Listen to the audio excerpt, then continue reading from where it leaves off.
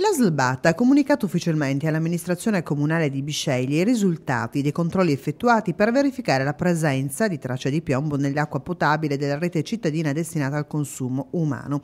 I dati sono assolutamente rassicuranti in quanto la concentrazione di piombo risulta oltre 10 volte inferiore ai limiti fissati dal Ministero della Salute, pari a 10 microgrammi per litro.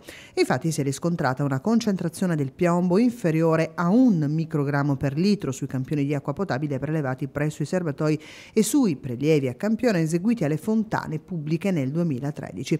Apprendiamo con soddisfazione che non vi sono pericoli di contaminazione del piombo per l'acqua potabile, ha dichiarato il sindaco Francesco Spina, ma la nostra amministrazione non intende abbassare la guardia sul fronte della tutela della salute dei cittadini. Continueremo a chiedere controlli periodici sulla qualità dell'acqua erogata al fine di monitorare costantemente anche il parametro piombo, informandone la popolazione nella maniera più efficace capillare.